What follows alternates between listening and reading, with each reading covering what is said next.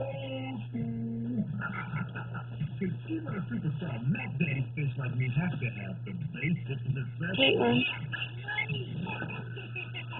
Honey, why don't you lay down instead of sleeping sitting up?